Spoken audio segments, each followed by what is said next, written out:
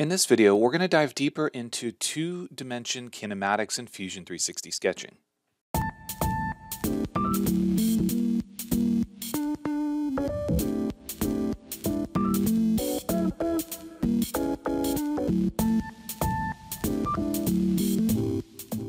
Hey everyone, this is Matt with Learn Everything About Design, and in this video, we're going to dive a bit deeper into using 2D sketching as a kinematics tool in Fusion 360. Now, we've already taken a look at this as a basic example in the previous video, and this is not intended to be a series of videos, but I am going to cover a few different topics that all relate back to suspension kinematics, mainly when we're looking at a four-bar linkage system, typical what you would see in an upper and lower A-arm on a car, but this could also be applied in many other applications. So again, we're going to start with a brand new document. This is going to be in the unit inch system, and I, uh, again, it doesn't really matter. You can use it in whatever you want, but the concepts will still apply. So we're going to do a couple things differently this time. And last time what we did is we took a look at just the wheel moving up and down and how the linkage lengths and positions affected it. But now I want to take a look at the system as a whole, including the chassis, and talk about things like the roll center and the instantaneous center and how the link angles and things are going to affect it. The first thing that I want to do is I want to create some reference lines and I'm going to create a vertical reference line and I'm going to create a horizontal reference line, but I'm going to stick it right at the middle using my midpoint constraint. Then I'm going to use X on the keyboard to turn these into construction. Now, if this is too fast for you, keep in mind that I will slow down when we cover some new topics, when we're talking more about suspension geometry, but at this stage in the game, I'm going to assume that you have basic knowledge of sketching in Fusion 360, and I'm not going to be covering a lot of the minute details of the basics. The next thing that I want to do is I want to create a tire. So we're going to be working on the right-hand side in the positive coordinate system, but we are going to be creating the entire thing. Once again, I'm going to create it at a slight angle, then I'm going to use D on the keyboard, making sure that we create an aligned dimension. And I'm going to set this at an 8 inch wide tire Notice that it rescales it, and then the vertical distance again is aligned, and we're going to set this at 20 inches. Now you can obviously see that my scale is a bit wrong, so I'm going to just increase the vertical and the horizontal distance of my references, and I'm going to move this tire over. The next thing that I want to do in this case is actually use an arc, and I'm going to use a three-point arc at the bottom of this. And then I'm going to use a line. And I'm going to go from the midpoint of my line to the midpoint of this, and I make this perpendicular. Again, not a requirement. You can see that it overconstrains it, but what I want to do is I just want to make this arc here, and I want to make it easy for me to control. This arc is going to represent the tire contact patch because the tire is not going to be completely flat, and this is going to help us sort of fudge the kinematics a little bit. So we're going to add an aligned dimension here. I'm going to make it very small. Let's just say half an inch. And again, these don't really matter in terms of their size, but this is going to give me something where I can create a tangent constraint with my ground plane. The next thing I need to do is I need to figure out where my suspension mounting points are going to be. Now, this can be anything. We can just simply pick some points where we want them to be. Now, in a lot of cases, especially with wider wheels, you're going to have the mounting points inside of the rim itself. For this example, I'm going to use create point. And I'm going to just place some points in here. And the lower one, I'm actually going to put on the line of the tire and the upper one here. And then I'm going to use my line tool and I'm just going to create some internal reference lines. Again, construction, these don't need to be turned into construction, but they certainly can. This is just going to give me some internal references. So now I'm going to dimension the width here and notice that we've got horizontal, vertical, and if I right click, I don't have an aligned option. So the way that this works in terms of dimensioning that position, it's really going to be easier if we use things like a line and we create a perpendicular line relative to the inside of our tire. Again, I'm going to convert that to construction, and this will allow me to now create an aligned dimension because it's not allowing me to do an aligned between two points. But here I can say 0.675. Again, I'm just picking a number. And then now I can create a very easy dimension. I'll, I'll set this one six inches up. And now that one is locked in place relative to our tire. Now, again, the important aspect here that you always want to understand is that we are dimensioning relative to each component. So for example, on a car, you've got your hub and your spindle and everything is, with the exception of the fact that the wheel actually rotates, is relative or rigid mounted together. And then once we get into our suspension components, then we start to have some degrees of freedom. But we need to keep those aspects in mind. I'm just going to set this one at, let's just do this one at 6 as well. And again, I'm going to drag these dimensions internal to my wheel just because it keeps them a little bit cleaner because I'm not going to have to mess with them and they'll stay whenever I move this around. Also, with these constraints, if they tend to get in the way, you can always uh, toggle the show constraints or show dimensions if you don't need to see them. And that'll simplify things after we get done creating our sketch. All right, so now we have our suspension mounting points. We have the arc to represent the contact patch of our tire. And now we need to create some other geometry. What I want to do is I want to create my chassis. And generally what we're going to do is, is we're going to create a very basic representation. But what I want to do here is I'm going to go ahead and pull these together. I want to make sure that I'm not creating anything that is vertical or horizontal or in relation to any other geometry. So I want to delete these constraints. I don't want those constraints. I want to be able to move these around because ultimately what we want to see is this chassis be able to roll. However, there will be some relationships internal. So for example, these two are going to be parallel. These two are going to be equal because we're going to have some symmetry. And then I want to create a, a, a line that goes between the midpoints of these upper lines. I'm going to make it construction, and then I'm going to make it perpendicular. Notice that this gives me an error. Now, if I move this around, you can see that it's still free to float around. It can rotate, and it can be moved around. And this is what we want, except for we need to lock it in place. So the vertical distance, again, is going to be aligned. Vertical distance between these two. Let's go ahead and let's think about the fact that we've got 12 inches between our suspension mounting points. And the lower one is probably going to be horizontal or parallel with the ground, horizontal as we're looking at it in this view. But the upper one is going to be pointing down. We want that instantaneous center to be a little bit lower. And uh, so I'm going to just pick 8 inches for now. Then I want to add a dimension to the top here. This is going to be, let's just say 22 inches, and let's put a dimension here. Again, always make sure that they are aligned. Let's just say 16 inches. Now that they're aligned, we need to consider the location of this. We will need some sort of global reference. And the way that I'm going to make this work is I'm going to take that lower midpoint of our chassis, and I'm going to snap it to my vertical line. What that means is now we can still rotate, and if you hold down Control or Command, you'll override any of those persistent constraints, and we can move up and down. So this will help us understand the suspension travel as we move up and down, and also as the vehicle rolls. It's a good idea when we're sketching these to do them sort of off at an angle, so we're not stuck by accidentally going vertical or horizontal, and it lets us really understand the dimensions that we're creating. Let's go ahead and pull these in. And note that this is going to be our suspension mounting point. Before I do this, I'm going to box select this. I'm going to do Control C or Command C if you're on a Mac. And then I'm going to paste this. I'm going to just bring it over here.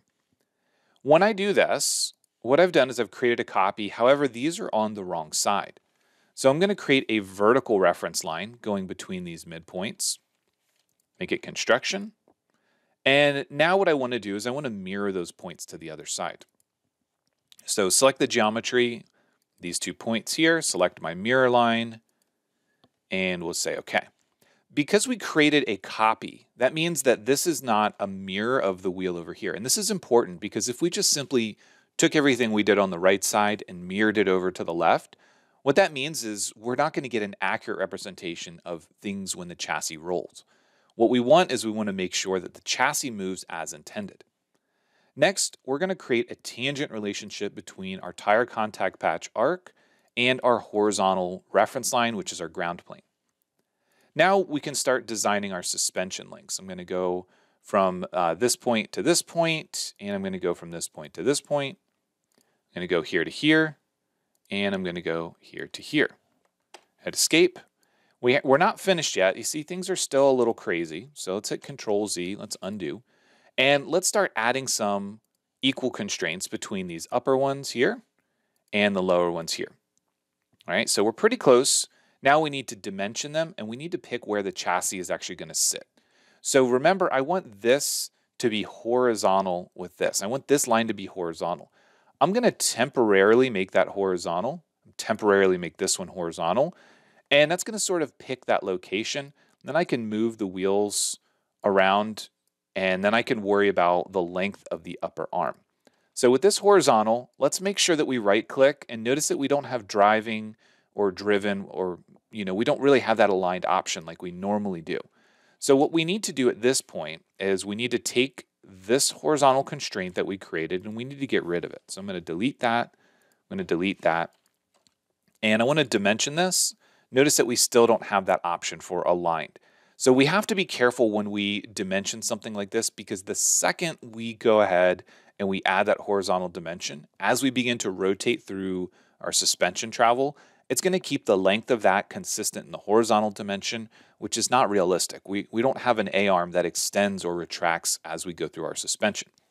What this does allow me to do is it allows me to figure out what the distance between our chassis and the ground is, and we can also measure this distance so that we have a good idea. So if we go from this point to this point, it's about 12 and a half inches. So we, we, we know that we're pretty close at 12 and a half inches. So I'm going to bring the chassis down then I'm going to go to my dimension tool. Now I have aligned and I'm going to set this at 12.5. Remember, these are equal.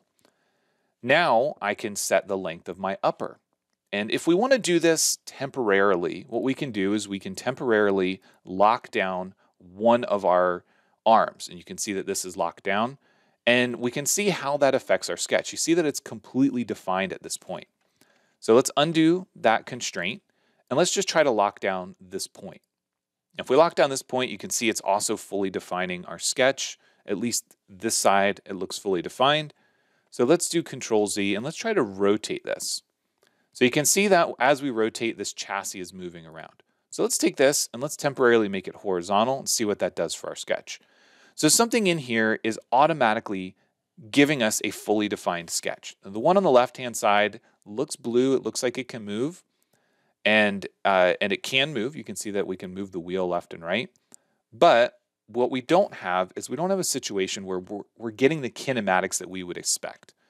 So in order to get this to work out, we need to work on our, our mounting points, our dimensions, to make sure that everything can float around as we expect. So what I want to do is I want to note that this right here looks like it's fully defined. The wheel is at an angle here for some reason which means that some other constraint was applied. And the way that we can figure this out is if we take a look at the constraints and we select them, it'll highlight the other entities that they're applied to. So what happened somewhere along the way is we created a constraint, probably a persistent constraint, that automatically locked in the rest. So if we take a look at this equal constraint here, that's equal with this arm, that's perfect. If we delete this arm completely, it's going to break that constraint. And you'll notice that now the wheel should be able to move.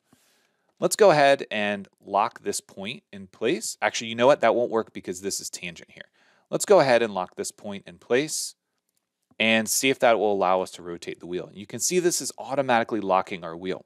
So what I want to do in order to fix this is I want to take this tangency constraint and I want to break it. That will give me a little bit more flexibility on this wheel.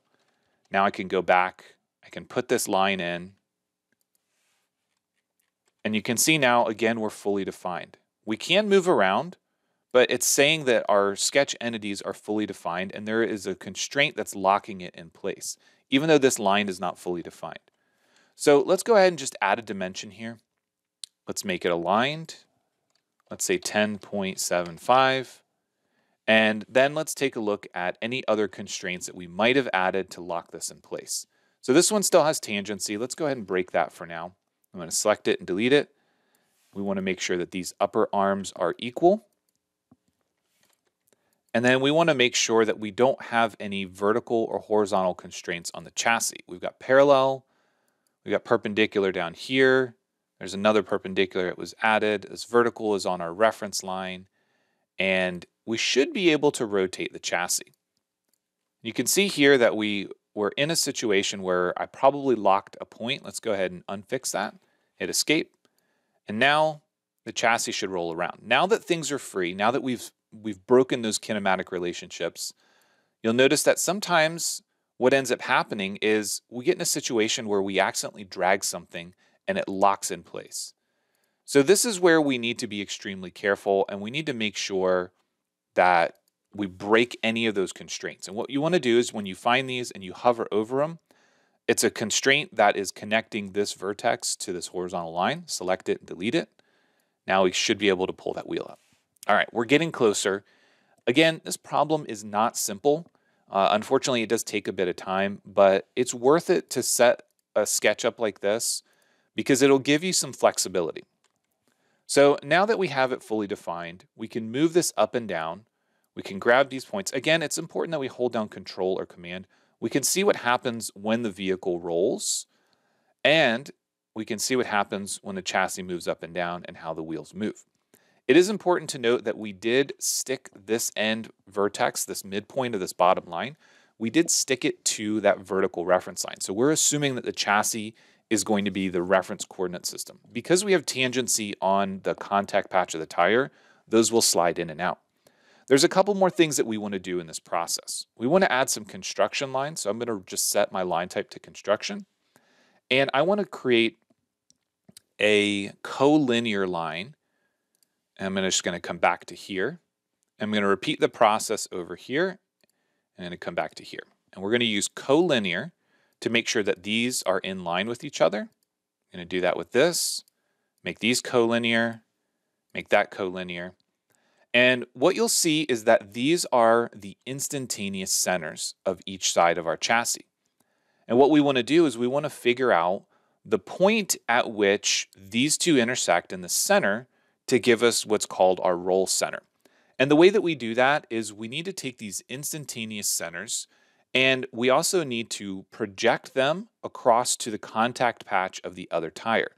This is where it gets a little bit tricky. I'm going to turn off my constraints and my dimensions to clean up the sketch a little bit.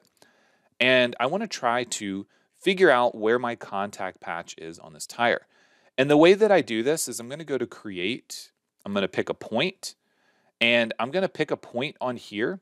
And I'm also going to make that point coincident with this. And what that means is as the tire moves around, that point will stay on my arc, but it'll also move around on my, my line here. And I'm going to do that on both sides. This is just, this doesn't necessarily have to be a point. It can be, uh, it could be anything. It could be the end of a line, but it's important that we make sure that we have that relationship, that reference point. So again, I just did that simply because it was easier. And what I want to do is I want to take this, and this is going to be my instantaneous center intersection for the opposite side of the car. And in this case, it's actually crossing because we've got such a drastic angle here. So I'm going to stick that there. We're going to do one over here. It's going to come to there. Let's go ahead and step back and take a look at this. Let's uh, show and then hide constraints again. Any new constraints that we create are going to automatically be applied. I also want to create some points at these intersections just because it's a little bit more visible. It's easier to see than just the lines ending. Let's go ahead and zoom back and take a look at this. Now, typically these instantaneous centers are going to be quite a bit farther out, but what we want to see is we're going to hold down control or command, and we want to see where they're moving about. All right, and so the projection of their intersection, when we're talking about this line, uh, typically the the instantaneous center is going to be way out here and it's a product of the angle that we've got. We've got a fairly extreme angle on that upper section. So I'm going to show dimensions and I'm going to reposition this upper arm. I'm going to put it a bit lower. I'm going to say four inches on this side. It's probably going to break. It's not going to like that because we have to do it over here as well. Let's go ahead and do four inches over here. This could be a good way for you to see a difference between two suspension setups, but it is going to break things because those instantaneous centers, again, you can kind of see our reference lines are, they're kind of flip-flop. So let's delete those reference lines and let's make some new ones. So this should be coming to this contact point, and this one should be coming to this. And where those two intersect is going to be our roll center. And typically we want to see that that intersection is going to be uh, on this vertical line. So here's what I'm going to do. I'm going to create a point. on this line here, and I'm going to make that point coincident with the other one so we can visually see where that intersection is. So now let's go ahead and again, hold down control or command, and we can see that instantaneous roll move around. Another thing to consider is that the instantaneous, or the, I'm sorry, the instantaneous are out here, the roll center, which is going to be the, uh, the intersection of those two, its relation to the center of gravity of the chassis is going to dictate, or it's going to affect, I shouldn't say dictate, it's going to affect the way in which the body rolls. So having this point be very low is going to do, um, you know, if I remember correctly, it's going to put more force into the suspension members, so like the shocks and struts, and less into the arms itself, the mechanical components. If this is higher or closer to the center of gravity and there's less leverage between those two points, then what you're going to see is that the suspension arms, the upper and lower A arms, are going to be taking more of that load, and things like the shocks you'll you'll need less, probably less spring rate. Uh, they're going to take less of the load because of the way that it's transferred through, based on the moment, the difference between this point and the center of gravity. So again, we've got it set up right now so that our chassis can move up and down and it can roll around. If you want to take a look at just the vertical components, what we could do is we could take this point and we could make it coincident with our vertical line. And now what this means is that we're only moving vertically. And again, it's important that we hold down control or command to sort of override those persistent constraints. I am going to come in and I'm going to turn off my show dimensions again because they're just kind of annoying when everything's moving around. So again, control or command, the more sketch entities that we put in here, the bulkier the sketch is going to be. But we can already see at this point that when the chassis is down here, our instantaneous roll center is below the ground. It's below the wheel. And you can kind of see that as the chassis gets lower, as we're loading up, maybe braking or hitting a bump, you can see that the wheels are sort of cambering in. As we go up, they get closer to vertical. So this can kind of help us plan out the chassis movement. And again, sticking this one coincident with the vertical reference line is what is taking away our ability to roll the chassis. So if we find that, we delete it. Now that point's free to move. We can grab onto our chassis and we can roll it left and right. We can see what happens to that roll center in relation to our center of gravity. Remember that this is a very dynamic problem. So when we're talking about vehicle dynamics at this stage, we're really just slicing through the chassis and we're trying to look at it from just this section view. We're, we're really taking away the ability for the upper and lower pivot points on the chassis to be at any sort of angle. Right now, we're, we're assuming that they're parallel to each other and they're perpendicular to our view, which is an assumption that we have to make in order for this to work. Uh, we're not going to be able to get that sort of advanced level of motion out of a 2D sketch. But we do now have a sketch that gives us our chassis, gives us the wheels and allows them to slide around on the ground, moving that contact point around. And this also gives us the ability to take a look at what happens when the chassis rolls in terms of what the wheels are doing. And just like in the first video, we could come in and we could add dimensions to figure out what the difference in the angle is going to be. And we can also take a look at putting that roll center, you know, we can attach it to our vertical construction line and we can see what happens when our chassis moves up and down. What happens when it's extremely loaded and we have a little bit of body roll? We can see where our instantaneous centers are and we can see where our roll center is. What happens when we're unloaded and we're sitting at our, our normal ride height? Maybe depending on the car's use, you can see that we've got a little bit of negative. We, our wheels are, are tipping out. So again, these are all things that we can define. And the last thing that I want to leave you with is the fact that at this point, what we did was we mirrored or we copied and then flipped our references over here. One good way for us to make this much easier to control is to add equal constraints whenever we can. Those equal constraints can just take the place of dimensions. Or what we can do is we can double click on this dimension here and simply select the one on the right hand side. We can do the same thing over here.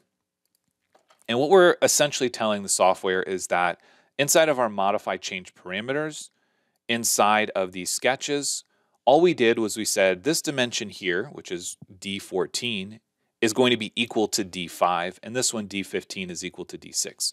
So if we decide to lower this chassis point or the suspension mount point to, let's say, 3 inches, we can see what that does to the chassis. If we decide to change the length of this arm to 10 inches, then we can see what that does to the chassis. Now, this arm has an equal constraint with this one, but this dimension has that parametric link between this dimension. So two different ways that we can control it. You don't always have geometry that you can apply an equal constraint to.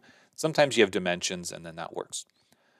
So again, here we go. This is the basic setup to take a look at a 2D or a cross section of a chassis, allowing us to plan out things like the mounting positions for the upper and lower A-arms on our spindle in relation to our wheel. We can take a look at how that affects things like the instantaneous centers and the roll center. We can take a look at chassis roll and we can have it move up and down. And of course, you could take the time to add driving dimensions, for example, the angle of the chassis between this vertical line and also its distance above the ground if we want to take a look and begin to start to plot these numbers.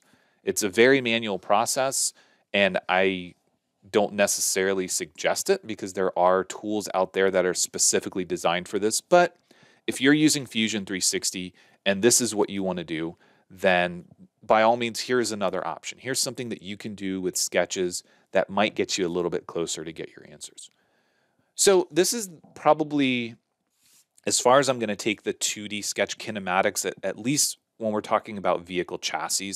I think at this stage we have a basic understanding of how to make it work and the critical aspects are going to be where your dimensions and constraints are relative to each component.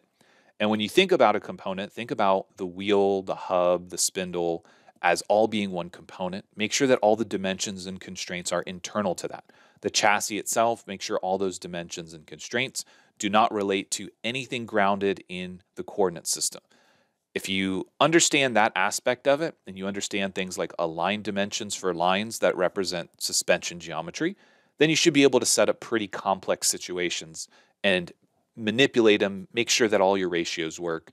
And then again, we don't really have a way to plot this. We can't take a look at the graph of the movement unless we do it manually with uh, driven or reference dimensions and then plot it in Excel or some spreadsheet. So at this point, I'm going to stick this, uh, this design, which is just the sketch. I'll put it in the description of the video so that you can shortcut your way to playing around with it if, uh, if you had any trouble following along.